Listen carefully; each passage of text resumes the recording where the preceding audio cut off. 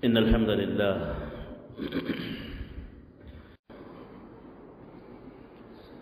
نحمده ونستعينه ونستغفره. ونعوذ بالله من شرور أنفسنا ومن سيئات أعمالنا. من يهده الله فلا مضل له. ومن يضلل فلا هادي له. وأشهد أن لا إله إلا الله وحده لا شريك له وأشهد أن محمدا عبده ورسوله صلى الله عليه وعلى آله وصحبه وسلم تسليما كثيرا. يا أيها الذين آمنوا اتقوا الله حق تقاته. ولا تموتن إلا وأنتم مسلمون. يا أيها الناس اتقوا ربكم الذي خلقكم من نفس واحدة وخلق منها زوجها وبث منهما رجالا كثيرا ونساء. واتقوا الله الذي تساءلون به والأرحام. إن الله كان عليكم رقيبا. يا أيها الذين آمنوا اتقوا الله وقولوا قولا سديدا. يصلح لكم أعمالكم ويغفر لكم ذنوبكم. ومن يطع الله ورسوله فقد فاز فوزا عظيما.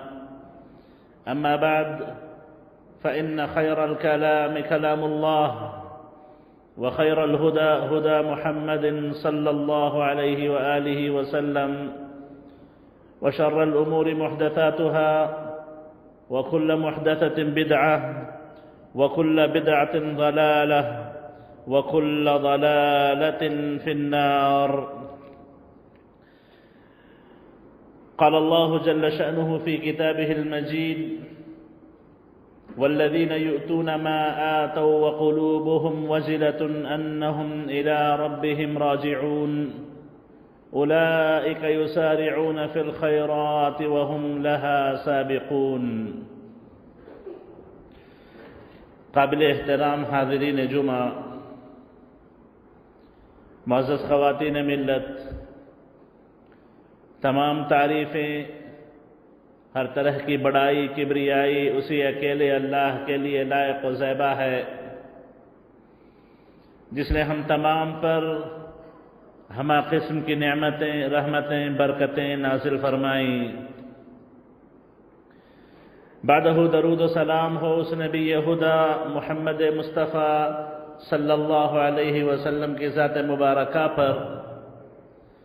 جن پر درود و سلام ہمیں اللہ کی رحمتوں، برکتوں کا مستحق بناتا ہے۔ صلی اللہ علیہ وعلى آلہ وصحبہ وسلم تسلیما کثیرا۔ معزز حاضرین آج جو بات بڑی شدت سے ہم تمام کو محسوس ہوتی ہے، ہم میں سے ہر ایک جس بات کو بڑی شدت سے محسوس کر رہا ہے، وہ یہ کہ دنوں کے، راتوں کے گزرنے کی جو رفتار ہے، بڑی تیز ہمیں نظر آنے لگی ہے۔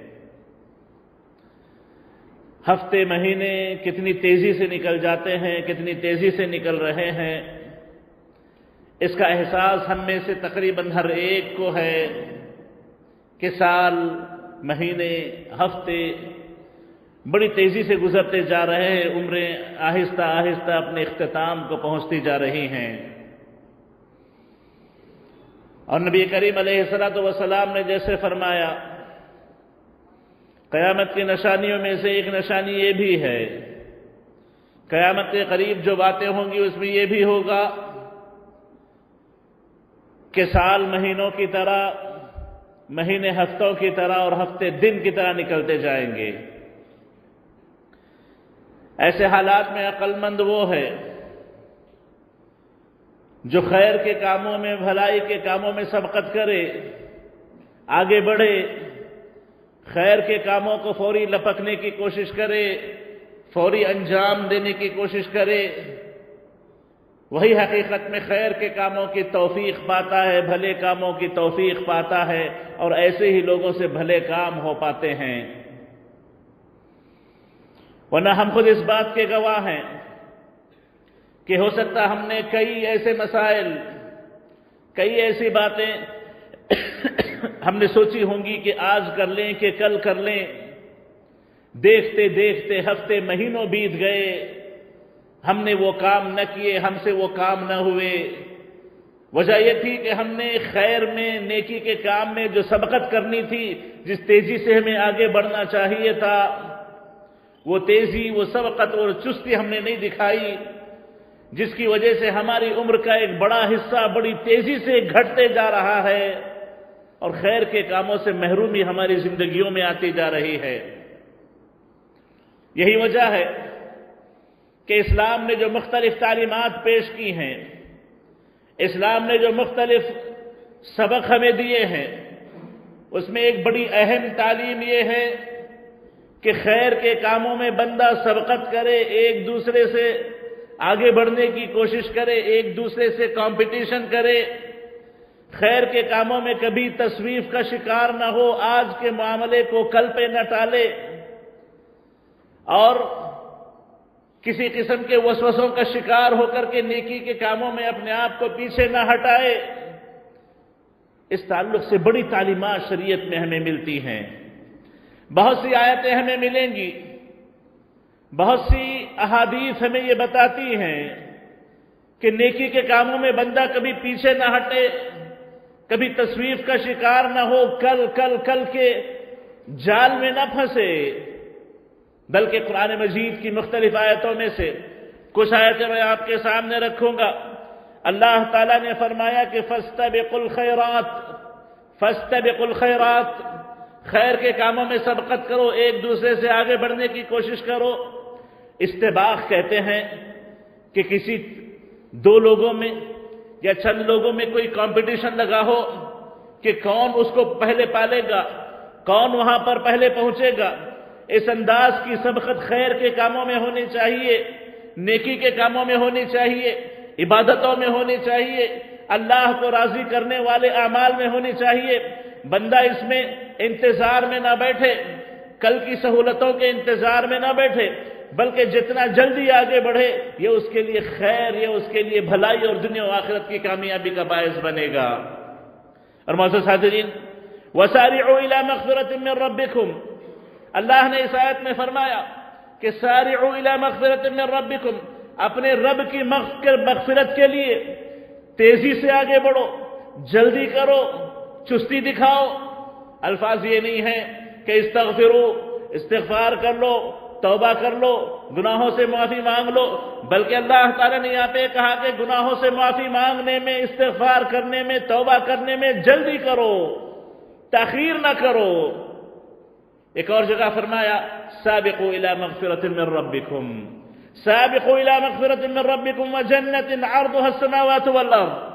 کہ تم لوگ اللہ کی مغفرت، اللہ کی جنت جس کے تعلق سے اللہ نے کہا کہ جنت کی کشادگی آسمان و زمین کے برابر ہے، اس کی طرف سبقت کرو لپ کو تیزی سے جاؤ۔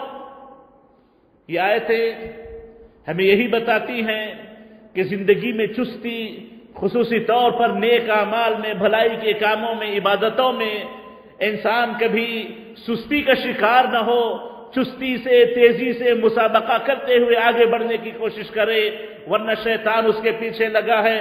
اس کا نفس اس کے پیچھے لگا ہے، اس کے دوست اس کے پیچھے لگے ہیں، رشتہ دار اس کے پیچھے لگے ہیں تقدیر اس کے ساتھ ہے کہ کہیں بیمار ہو جائے وہ کام نہ کر پائے، کوئی حاجت آ جائے وہ کام نہ کر پائے، کوئی رکاوٹ پیدا ہو جائے، کام سے محروم ہو جائے، نیکی سے محروم ہو جائے، یہ تمام اس کے پیچھے لگے ہیں۔ ان تمام سے بچتے، بچاتے ہوئے، سبقت کرتے ہوئے، تیزی کرتے ہوئے نیکیوں کے کام کی طرف لپکنے کی اللہ تعالیٰ نے ہمیں تعلیم دی ہے۔ نبی کریم علیہ السلام والسلام نے ہمیں تعلیم اور تربیت دی ہے۔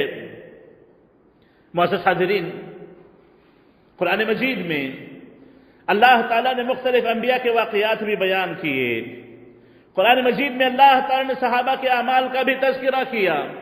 ان تمام کے تذکروں میں عام طور پر اللہ تعالیٰ نے جو بات خاص طور پہ فرمائی وہ یہی تھی اولئک یسارعون فی الخیرات وهم لها سابقون، کہ خیر کے کاموں میں یہ لوگ تیزی کرتے تھے، لپکتے تھے، جلدی جاتے تھے، آج کی بات کل پہ نہ ٹالتے تھے۔ وَهُمْ لَهَا سَابِقُونَ۔ اللہ نے کہا کہ حقیقت میں یہ نیکیوں کے کاموں میں سبقت کرنے والے لوگ تھے۔ آگے بڑھ کر کے نیکیوں کو، آگے بڑھ کر کے اچھے کاموں کو اپنانے والے لوگ تھے۔ اور ہمیں اسی بات کی تلقین ہے۔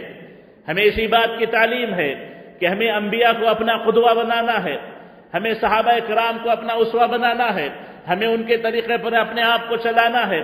ان کے طریقے پر چلیں گے تو کامیابی کی ضمانت ہمارے لیے ہے۔ اور اگر ان کے طریقے کو ہم نے چھوڑا، ان کے طریقے سے ہم نے منہ موڑا، تو ہم کبھی کامیاب نہیں ہو سکتے۔ تو ان کی جو سنتیں ہیں، ان کے جو اخلاق ہیں، ان کے جو عادات ہیں، نیکیوں کے کرنے کا جو ان کا طریقہ ہے، وہ طریقہ یہی ہے کہ خیر کے کاموں میں بندہ کبھی تصویف کا شکار نہ ہو، کبھی بندہ اپنے آپ کو غلط امیدوں میں نہ ڈالے۔ کہ آج کے بجائے کل میں اور اچھے انداز سے کر لوں گا۔ اس مرتبہ کے بجائے اگلے مرتبہ میں بہتر انداز سے کر لوں گا۔ یاد رکھیں، جیسا کہ عربی مقولہ مشہور ہے خیر البر عاجلو خیر البر عاجلو سب سے بہتر نیکی وہ ہوتی ہے جو فوری کر دی جائے۔ بہتر نیکی وہ نہیں ہے جس کو کل پہ ٹال دیا جائے۔ محسوس حاضرین ہمیں سے جتنے بڑے لوگ ہیں جنہوں نے زندگیوں کی ایک بڑی عمر دیکھ لی ہے، ان میں سے ہر ایک کی زندگی میں یقینی طور پر غور کریں تو ایسے بہت سے واقعات ملیں گے، ایسی بہت سی نیکیاں ان کے ذہنوں میں ضرور آئیں گی۔ اگر وہ سوچیں گے تو ایسی بہت سی نیکیوں کے تعلق سے ان کو ضرور یاد آئے گا کہ انہوں نے سوچا تھا کہ یہ کام کر لیں، فلاں کام کر لیں، فلاں خیر کر لیں، فلاں عبادت کر لیں، فلاں طریقے پر خرچ کر لیں، فلاں پہ اللہ کے راستے میں کچھ لگا دے، لیکن اس سے محروم رہے۔ اس سے محروم رہے، وہ عبادتیں ان کو نہ مل سکی وہ خیر کے کام ان کو نہ مل سکے، وہ نیکیاں ان کو نہ مل سکی وجہ یہ نہیں تھی کہ ان کے پاس طاقت نہیں ہے۔ وجہ یہ نہیں تھی کہ ان کے پاس سہولتیں نہیں ہیں، وجہ یہ نہیں تھی کہ ان کے پاس پیسہ نہیں ہے، وجہ یہ نہیں تھی کہ ان کے پاس وقت نہیں ہے، بس وجہ یہ تھی کہ آج کے بجائے کل کر لیا جائے، اس مرتبہ کے بجائے اگلی مرتبہ دیکھ لیا جائے، بڑی نیکیوں سے محروم ہو جاتے ہیں، بڑی نیکیوں سے محروم ہو جاتے ہیں۔ تو معزز حاضرین خیر البر عاجل سب سے بہتر نیکی وہ ہوتی ہے کہ خیال آتے فوراً بندہ آگے بڑھے، اس کو کر گزر جائے، اس کو کر گزر جائے۔ یہ نبی کریم علیہ السلاۃ والسلام کا، انبیاء کرام کا، صحابہ کرام کا طریقہ ہے، جس کو ہمیں اپنانے کی ضرورت ہے۔ الائی یسارعون فی الخیرات۔ اللہ نے ان کی تعریف کرتے ہوئے کہا کہ یہ وہ لوگ ہیں جو خیر کے کاموں میں بڑی تیزی سے لپکتے ہیں۔ وَهُمْ لَهَا سَابِقُونَ۔ اور یہ اس میں سبقت کرنے والے ہیں۔ محسوس حاضرین شیطان ابلیس نے جو بنو آدم سے دشمنی لی دشمنی کو نبھانے کے جو مختلف طریقے اس نے بنائے، اپنائے، مختلف اسالیب، مختلف میتھڈز جو اس نے لیے، اس میں سے یہ بھی ایک تھا، اس نے کہا وَلَا أُذِلَّنَّهُمْ وَلَا کہ میں ان کو گمراہ کروں گا اور میں انہیں تمناؤں میں رکھوں گا، امیدیں دلاؤں گا، ان کے دلوں میں تمنائیں میں پالوں گا، ان کے دلوں میں آرزویں پیدا کروں گا۔ ان کے دلوں میں تصویر کا جو معنی ہوتا ہے کہ آج کے بجائے کل اس کو کیا جائے، کل کے بجائے پرسوں اس کو کیا جائے، اس طریقے کے بجائے اس طریقے کو کیا جائے، اس بندے کے بجائے اس بندے کو دیا جائے، اس نیکی کے بجائے وہ نیکی کی جائے۔ ایسے بہت سے مسائل ہیں، بہت سے اعمال ہیں جو شیطان کی تصویر، شیطان کے گمراہ کرنے کی وجہ سے، جو شیطان نے اللہ سے وعدہ کیا تھا کہ میں ان کو گمراہ کر کے رہوں گا۔ ایسے بہت سے واقعات ہمیں دیکھنے میں ملتے ہیں۔ اس کا علاج یہ ہے، اس کا طریقہ یہ ہے کہ جب آپ کو کوئی نیکی سمجھ میں آ جائے، جب آپ کو کوئی بھلائی سمجھ میں آ جائے، اللہ کا نام لے آگے بڑھ جائیں، اللہ کا نام لے آگے بڑھ جائیں، اس میں پیچھے نہ ہٹیں، اونچ نیچ نہ کریں، آگے پیچھے نہ ہو خیر کے کام میں کوئی دیری نہ کریں، فوری آگے بڑھ جائیں، اللہ تعالیٰ کل کے لیے آپ کو اس سے بہتر نیکی کی توفیق دے گا۔ کل آپ کے لیے اللہ تعالیٰ اس سے بہتر سہولت پیدا کرے گا۔ ایسے نہ ہو کہ آج کے اس کام کو کل پہ ٹال دے تو آج کا بھی نہ کر پائیں، کل کا بھی نہ کر پائیں، دونوں سے محرومی ہو۔ اس سے بہتر یہ ہے کہ آج جو نیکی کرنی ہے، آج جو بلائی کرنی ہے، آج کر لی جائے۔ کل پہ اس کو ڈال کر کے اپنے آپ کو نیکیوں سے محروم نہ کیا جائے۔ محسوس حاضرین بس میں ایک واقعہ، ایک حدیث اللہ کے نبی علیہ السلاۃ والسلام کی آپ کے سامنے ذکر کروں گا۔ عقبت بن عامر رضی اللہ عنہ کی روایت ہے۔ صحیح بخاری میں امام بخاری نے اس کو ذکر کیا۔ کہتے ہیں کہ نبی کریم علیہ السلاۃ والسلام کے پیچھے ایک مرتبہ میں نے عصر کی نماز مدینے میں پڑھی۔ نبی کریم علیہ السلاۃ والسلام نے جیسے ہی نماز ختم کی، سلام پھیرا، قام مسرعا، کہتے ہیں کہ تیزی سے اٹھ کھڑے ہوئے۔ سلام پھیرنا ہی تھا کہ تیزی سے اٹھ کھڑے ہوئے۔ اور کہتے ہیں فتح رقاب الناس۔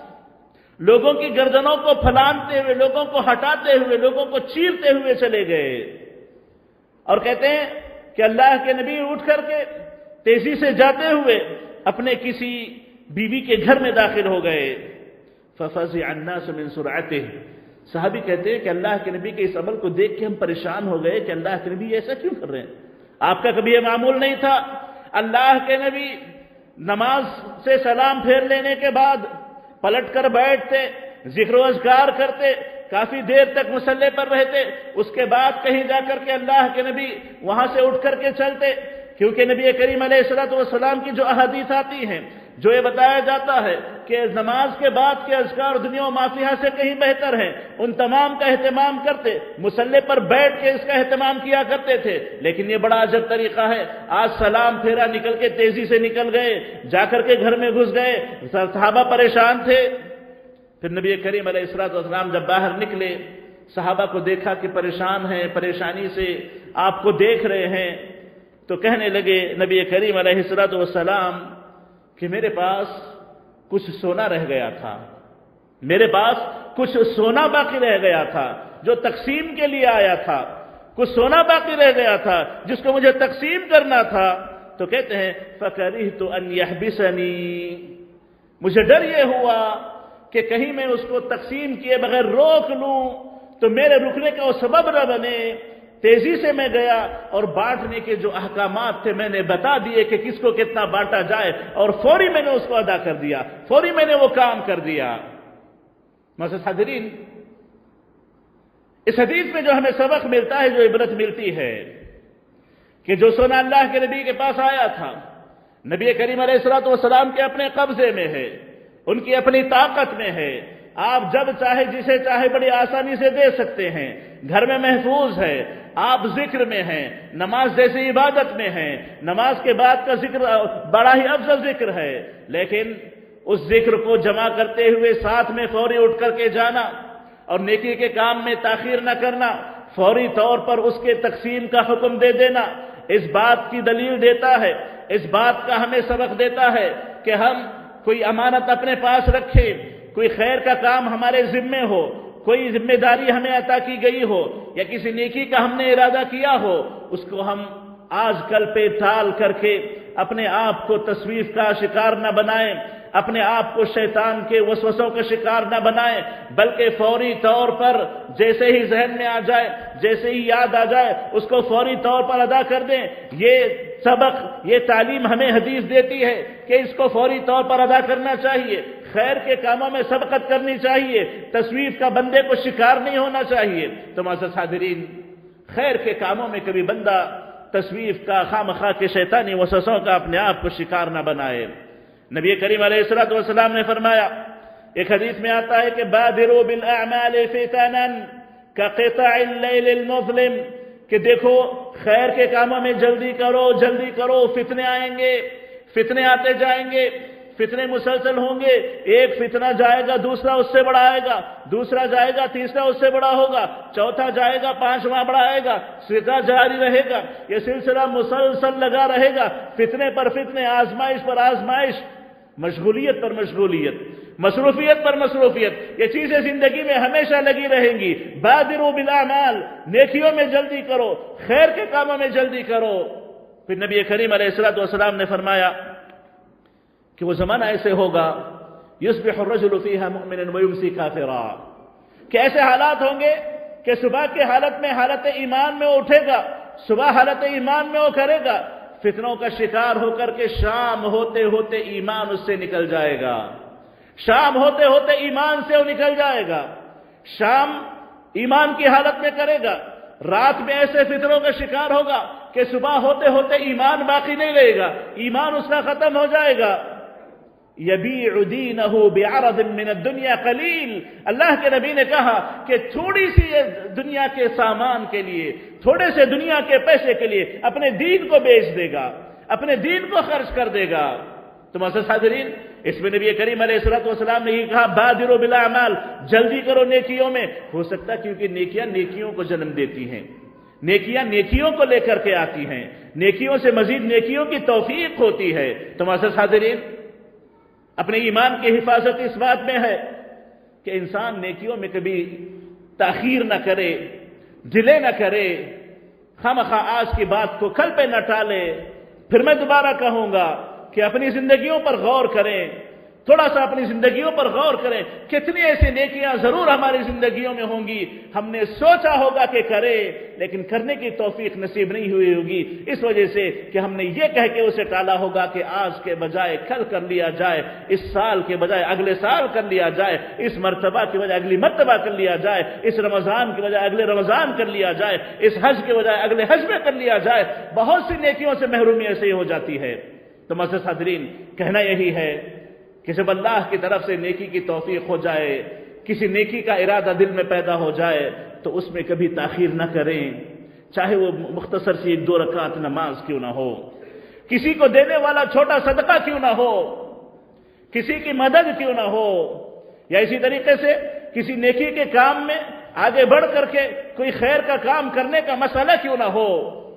کبھی بندہ اس کو کھل پہ ٹال کر کے اپنے آپ کو نیکیوں سے محروم نہ کرے کیونکہ نیکیوں میں سبقت کرنا انسان کے لیے بڑی برکتوں کا باعث ہے، بڑی رحمتوں کا باعث ہے، اللہ کی توفیق کا باعث ہے، ایمان کی مضبوطی کا باعث ہے، ایمان کی بہتری کا باعث ہے۔ اور بہت سے فوائد اللہ تعالیٰ نے نیکیوں کی طرف سبقت کرنے کے رکھے ہیں۔ یہ انبیاء کا انبیاء کا، شہداء کا، صالحین کا، یہ صحابہ کرام کا صرف صالحین کا طریقہ رہا ہے۔ اللہ تعالیٰ سے دعا ہے کہ اللہ تعالیٰ ہمیں سب سے پہلے نیکیوں کی توفیق نصیب فرمائے اور اللہ تعالیٰ نیکیوں میں ہمیں سبقت کرنے آگے بڑھ کر کے نیکیوں کو فوری کرنے کی توفیق نصیب فرمائے اور اللہ تعالی شیطانی وساوے سے ہماری حفاظت فرمائے آمین أقول قولی هذا واستغفر الله لي ولكم ولسائر المسلمين من كل ذنب فاستغفروه انه هو الغفور الرحيم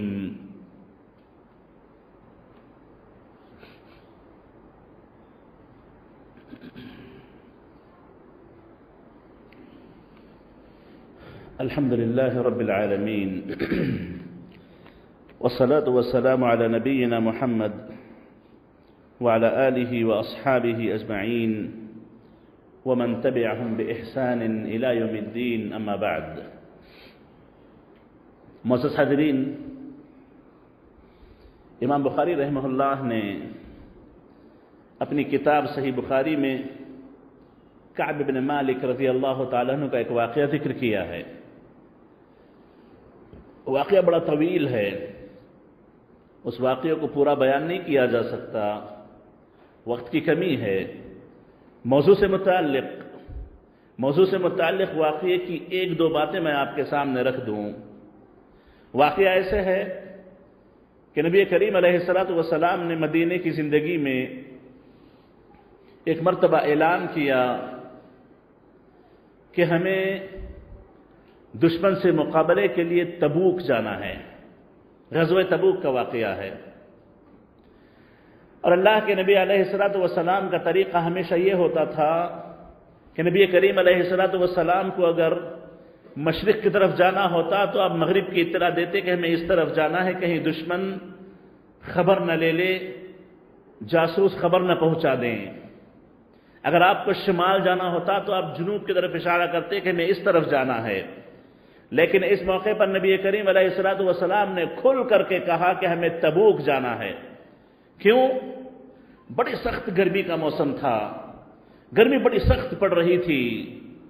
اور مدینہ چونکہ کھیتی باڑی کی جگہ ہے، کھجور بڑے وہاں پکتے ہیں۔ کھجور بالکل تیار تھے کہ اس کو توڑ کر کے اتارا جائے، اس کا بیوپار کیا جائے۔ کھجور درختوں پر تیار ہیں۔ اور تبوک جو جانا ہے، بڑی سخت گرمی کا موسم ہے، بڑی دور کا مقام ہے، دشمن بھی بڑا سخت ہے۔ اللہ کے نبی نے وضاحت کر دی۔ سب نے تیاری شروع کی۔ کعب بن مالک رحمہ اللہ رضی اللہ عنہ کہتے ہیں کہ جب میں نے اعلان سنا تو میرا یقین ہو گیا، میں نے پختہ عزم کر لیا کہ مجھے بھی اس جنگ میں شریک ہونا ہے۔ لیکن میں نے تیاری نہیں کی۔ میں نے کہا کہ میں کل تیاری کر لوں گا۔ اور کہتے ہیں کعب بن مالک رضی اللہ عنہ کہ جتنی فراخ دلی جتنی سہولت اور جتنا معلومتا جتنی سواریاں، جتنی آسانیاں اس وقت میرے پاس تھی، اتنی کبھی نہیں تھی۔ ہر قسم کی سہولت مجھے مہیا تھی، ہر قسم کی سہولت میرے پاس تھی۔ میں نے یہ کہا کہ سواری تیار ہے، ہتھیار تیار ہے سب کچھ ریڈی ہے آج کے بجائے کل نکلیں گے آج کے بجائے کل جائیں گے۔ کہتے ہیں کہ جب میں بازار نکلتا تو یہ تیاری میں لگا ہے، وہ تیاری میں لگا ہے، وہ تیاری میں لگا میں دیکھتے جاتا اور کہتا کہ سب کے پاس مسائل ہوں گے، میرے پاس تو کوئی مسئلہ نہیں ہے، میں تو منٹوں میں تیار ہو جاؤں گا۔ اسی کل کل کل کے شکار میں رہا، اسی کل کل کل کے مسئلے میں پھنسا رہا۔ کہ اللہ کے نبی علیہ السلاۃ والسلام نے اعلان کر دیا کہ چلو اب نکلنا ہے۔ چلو اب نکلنا ہے۔ پہلے آپ نے اطلاع دی۔ تیاریاں شروع ہو گئی پھر اعلان آیا کچھ دنوں بعد کہ چلو اب نکلنا ہے۔ تو میں تیاری نہیں کیا ہوا تھا۔ میں نے کہا کہ چلو ابھی تیاری کر کے میں نکل جاؤں گا، کوئی حرج کی بات نہیں۔ پھر کچھ مشغول ہو گیا۔ میں نے کہا کہ چلو کل تیاری کر لوں گا۔ اتنے میں صحابہ نکل گئے اللہ کے نبی کے ساتھ۔ صحابہ نکل گئے نبی کریم علیہ السلاۃ والسلام کے ساتھ، قافلہ آگے نکل گیا۔ مجھے جب پتا چلا کہ لوگ نکل گئے ہیں، تو میں نے کہا کہ میرے پاس تو بہترین سواری ہے، جو تیزی سے نکلوں تو بڑی آسانی سے ان تک پہنچ جاؤں گا۔ چلو نکلیں گے۔ یہ میں نے ارادہ کیا، پھر کچھ مشغول ہو گیا۔ میں نکل نہ سکا۔ میں نکل نہ سکا۔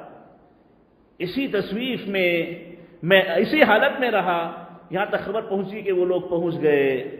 وہ لوگ نکل گئے، لوگ پہنچ گئے۔ اب مجھے بڑا افسوس ہو جائے گا کاش میں نکل گیا ہوتا تو بڑا اچھا ہوتا۔ کاش میں نے تیاری کر لی ہوتی، بڑا اچھا ہوتا۔ اور کہتے ہیں کہ جب میں اپنے گھر سے مدینہ میں رہتے ہوئے باہر نکلتا، تو میری نظریں عام طور پر ان لوگوں پر پڑتی جن کا نفاق مشہور تھا، جو مشہور منافقین تھے۔ منافقین پیچھے رہ گئے تھے۔ مومنین، صحابہ نکل گئے جہاد کے لیے۔ اپنی جانوں کی قربانی کے لیے مشقتوں کو برداشت کرتے ہوئے، سخت گرمی کے موسم میں، بڑے دشمن کے مقابلے کے لیے ہر قسم کی قربانی دیتے ہوئے نکل گئے۔ پیچھے جو رہ گئے تھے، صرف منافقین رہ گئے تھے۔ یا پھر وہ لوگ دکھتے جو اندھے، لولے، لنگڑے، جو نہیں جا سکتے، ایسے ہی لوگوں پہ میری نظر پڑا کرتی تھی۔ مجھے بڑا افسوس ہے بڑی تکلیف ہوئی۔ بڑی تکلیف ہوئی۔ اور دن ایسے ہی گزرتے گئے، یہاں تک کہ اللہ کے نبی واپس آ گئے۔ موسر صادرین جیسا میں نے کہا کہ واقعہ تفصیل سے بیان کرنے کا وقت نہیں ہے، لیکن یہاں پر دیکھنا یہ ہے کہ ایک صحابی صرف اس امید پر کہ پوری سہولتوں کے باوجود کل میں اس کو کر لوں گا، نہیں کر پائے۔ نہیں کر پائے۔ اللہ کے نبی نکل گئے، صحابہ نکل گئے، معاملہ ہو گیا، واپس لوٹ آئے۔ تب تک بھی انہیں توفیق نہ ہو سکی، وہ نکل سکے، نہ نکل سکے۔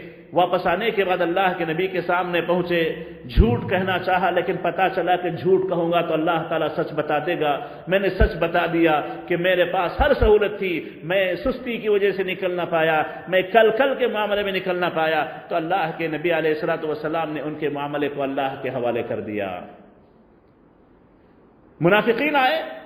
انہوں نے کہا کہ اللہ کے نبی یہ عذر تھا، وہ عذر تھا، یہ بہانہ، وہ بہانہ۔ اللہ کے نبی نے ان سے مغفرت کی دعائیں کر دی، اللہ تمہیں معاف کرے، جاؤ۔ اگر تم سچے ہو، اللہ تمہاری مغفرت کرے۔ اللہ کے نبی ان کو نکال دیا۔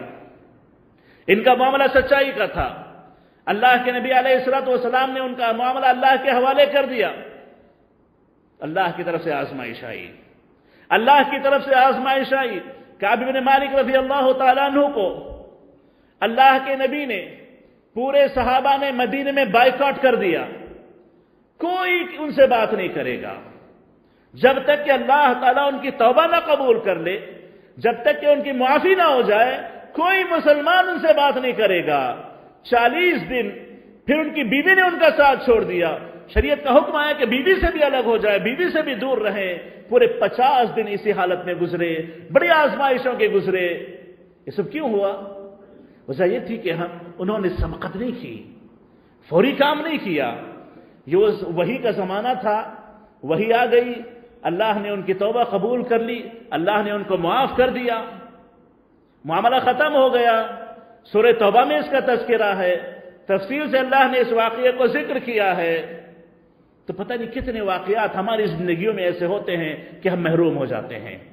وجہ یہ ہے کہ ہم اس کو کل پہ ٹال دیتے ہیں۔ پرسوں پہ ٹال دیتے ہیں، اگلے مرتبہ پہ ٹال دیتے ہیں۔ نصیحت یہی ہے کہ کبھی خیر کے کاموں میں بندہ پیچھے نہ ہٹے۔ فوری اس کو کر لے، فوری اس کو کر لے۔ خیر البر عاجل سب سے بہتر نیکی وہ ہوتی ہے جو فوری کر لی جائے۔ اس قاعدے کو اپنی زندگی کا نصب العین بنائے، اس قاعدے پر اپنی زندگی کو لگائے تو حقیقت میں کامیاب ہو سکتا ہے۔ اللہ تعالیٰ سے دعا ہے کہ اللہ تعالیٰ ہمیں نیکیوں کی حقیقت کو، نیکیوں کی اہمیت کو سمجھنے کی توفیق نصیب فرمائے۔ اور اللہ تعالیٰ نیکیوں میں ہمیں سبقت کرنے کی توفیق نصیب فرمائے۔ اللہ تعالیٰ ہمیں انبیاء، صحابہ تبع تابعین تبع تابعین کے طریقے پر چلنے والا بنائے۔ اور اللہ تعالیٰ ہمیں ہر قسم کے شیطانی وساوس سے، ہر قسم کے شیطانی شکنجوں سے بچے رہنے کی توفیق دے۔ اللہ ہماری حفاظت فرمائے۔ اور اللہ تعالیٰ ہمیں جب تک زندہ رکھے، نبی کریم علیہ السلاۃ والسلام کے طریقے پر، صحابہ کے طریقے پر چلنے والا بنا کر کے زندہ رکھے۔ جب موت دے تو اللہ تعالیٰ ہمارا خاتمہ بالخیر فرمائے۔ اور سوئے خاتمہ سے اللہ تعالیٰ ہماری حفاظت فرمائے۔ آمین۔ ربنا لا تؤاخذنا ان نسينا واخطأنا۔ ربنا ولا تحمل علينا إصرا كما حملته الذين من قبلنا. ربنا ولا تحملنا ما لا طاقة لنا به. واعف عنا واغفر لنا وارحمنا. أنت مولانا فانصرنا على القوم الكافرين. ربنا آتنا في الدنيا حسنة وفي الآخرة حسنة. وقنا, وقنا عذاب النار. اللهم أعنا على ذكرك وشكرك وحسن عبادتك. اللهم أعنا على ذكرك وشكرك وحسن عبادتك. اللهم آت نفوسنا تقواها وزكها أنت خير من زكاها. أنت وليها ومولاها. إن الله وملائكة يصلون على النبي. يا أيها الذين آمنوا صلوا عليه وسلموا تسليما. اللهم صل على محمد وعلى آل محمد كما صليت على إبراهيم وعلى آل إبراهيم إنك حميد مجيد. اللهم بارك على محمد وعلى آل محمد كما باركت على إبراهيم وعلى آل إبراهيم إنك حميد مجيد. إن الله يأمر بالعدل والإحسان وإيتاء ذي القربى وينهى عن الفحشاء والمنكر والبغي يعظكم لعلكم تذكرون. اذكروا الله يذكركم واشكروه على نعمه يزدكم ولذكر الله أكبر والله يعلم ما تصنعون.